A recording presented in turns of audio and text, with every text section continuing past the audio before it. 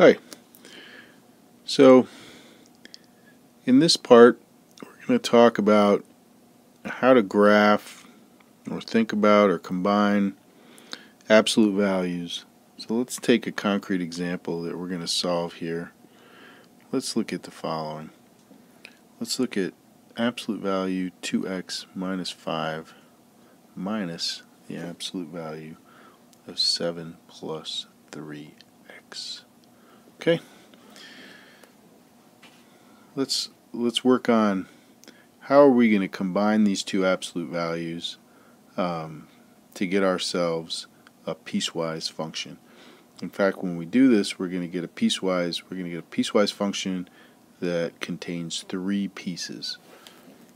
Okay, and that that's pretty much true in general. If you have two absolute values added or subtracted, you're going to get a piecewise function with three pieces. And the reason why you have three pieces is because if we look at this function, the question we have to ask is where is this where is this first absolute value equal to zero? Well that's going to be equal to zero at five halves. Okay? And where is this absolute value going to be equal to zero? So five halves, we'll put that over here somewhere. Okay? Maybe this will be zero. And then over here, what we're going to have is we're going to have minus 7 over 3, right? So that's going to be down here somewhere, minus 7 over 3. Okay? Those are where these two absolute value functions are equal to 0. And those two numbers divide the real line into three segments. They divide the real line into these three segments. So we're going to have x less than minus 7 over 3. So that's this part of the line. Then we're going to have x that's going to be bigger than minus 7 over 3 and less than 5 halves. Okay, we can say like that. That's going to be this middle piece here. Okay. And then finally we're going to have this piece of the real line which is x bigger than 5 halves. Okay. And on each of these three pieces we can solve uh, we can simplify each absolute value and we can combine the terms 2x minus 5 and 7 plus 3x plus or minus a plus or minus um, to, to construct a, a, piecewise function with three pieces. One, one uh, we're going to get a linear, we're going to get either a linear or constant term um, on each of the three pieces. That's pretty much the profile. Um, I'm going to clear the boards and then we're going to go to work. How you work on each of these three intervals is exactly the same. The logic is exactly the same. The answers we're going to get, the, the solutions will be different because we're going to be doing different different algebra, but the, the logic is exactly identical. So if you can do one piece, you can do all of the pieces. So try to follow the logic and then work the algebra. Okay, so let's work on part one, which will be x less than minus 7 thirds. Okay? So the logic goes like this. Let's look at the let's look at our let's look at our first absolute value function which is uh, 7 well the first one is 2x minus 5 so 2x minus 5 um, that is going to be 2x minus 5 will be negative anywhere less than 5 halves so certainly when you're less than minus 7 thirds that one's going to be negative. So 2x minus 5 is going to come in as minus 2x minus 5 into this part of the equation. Then we're going to have minus. There's nothing we can do about that minus sign. And then the question is what comes next. So to the left of minus 7 thirds, 7 plus 3x will be negative. So we have to take its opposite to enforce the absolute value. Okay, so we're going to have two minus signs here. And use parentheses, please. 7 plus 3x. Okay. Now we're done. Now, now we're, we've removed the absolute values. How did we do that? Because we looked at a particular region. On that region, we evaluated the sign of each of these terms. We used the definition of absolute value to liberate the piece. Now we're just going to do the algebra. So this part should be this part should be really straightforward for you minus 2x plus 5, and then a minus and a minus cancel, and we're going to get plus 7 plus 3x. Okay, so when we wrap that all up, what do we get? We're going to get x, okay, plus, uh, 12. Okay, so this is what our function looks like on this piece. Okay, on x less than minus 7 thirds, our, our piecewise function looks like x plus 12. Okay, and then at, at and that that will be then what what it will be on the next piece we have to figure out just now. Okay, so I'm going to clear the boards and then we're going to work that piece. But again, it's going to be exactly like this piece. It's like you know, SOS different day. Okay.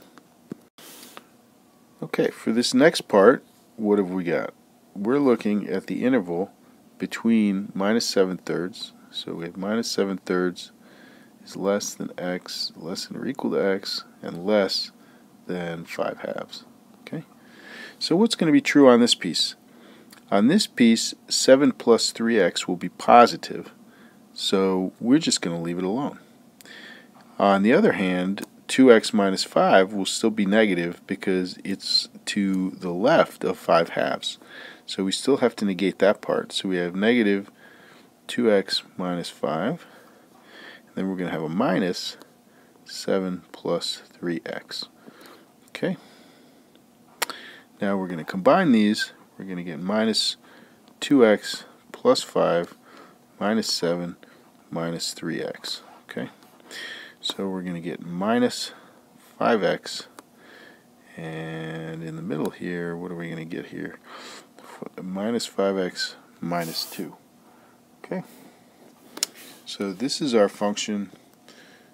This is our function on the second piece. Okay, on the first piece we found x plus 12. At the end we'll put this all together and graph it, but for right now this is this is the function that we've gotten on the second piece. Now you should take a minute while I clear the boards to work on the third piece. If you understand the logic of the first two pieces, which you should, um, go ahead and work out the third piece and see if your answer is going to agree with what I'm going to get. So either stop the video or, you know, I, I don't know. Yeah, that's the easiest. Stop the video, work on a piece of paper, and then see if you get the same thing that I'm just going to get in a minute. And that's a good check because you never know I could get it wrong, which I usually do. Okay, back in a flash. Okay, final piece. We're working on the interval x bigger than 5 halves. On x bigger than 5 halves, both of these functions will be positive. So our equation will look like 2x minus 5 minus 7 plus 3x. Okay? And what we're going to get here is 2x minus 5 minus 7 minus 3x. Let's combine that. So we're going to get minus x, and then here we're going to get minus 12.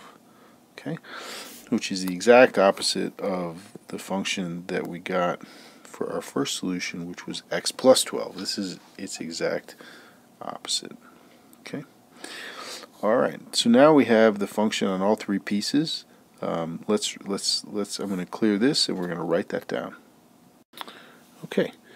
So our function f that we have discovered, combining these two absolute values, gives us the following piecewise function It gives us x plus 12 when x is less than minus 7 over 3.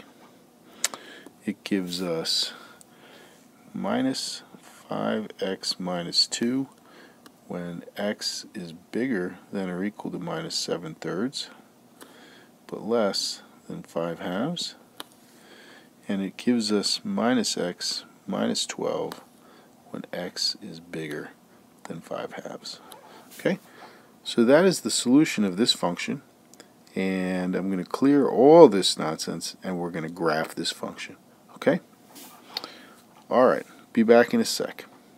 Okay, so let's make an attempt to graph this function. Um, it's not going to look pretty, but, you know, we're not in the pretty business. We're just in the get it done business kind of thing.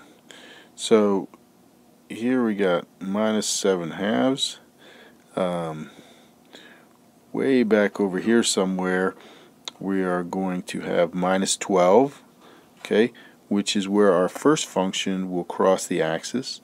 Um, it At minus uh, 7 thirds, this should be 7 thirds,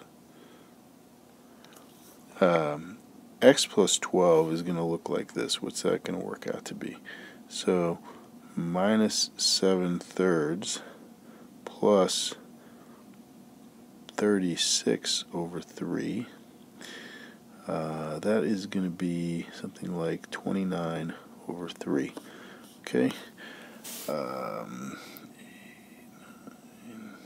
so something something a little less than little less than 10 uh, that's where that's where the first piece of our, our puzzle so we've got a positive slope it's going to come up here okay? So on the other side let's let's draw let's draw 5 halves okay? Our middle function looks like well we just covered it up. I think it's minus 5x minus 2 um, minus 5x minus 2 meets up at the same spot. And it, if you've calculated it comes down here. So it's got a slope of minus 5 it comes down here somewhere um, to what should be minus 29 over 2 okay? And then from here on the last piece we have the function minus x minus 12 which has a slope of minus 1. So that's much more gradual than the slope of minus 5. So it's going to go off like that. So that's what our function looks like. It's a piecewise function of three pieces, um, and you can graph it for yourself. This is a quick sketch, um, but I'm good with quick sketches. If you can sort of uh, do quick sketches like this, you're you're in business in pre-calculus and calculus and well beyond. Okay, so practice, enjoy, goodbye.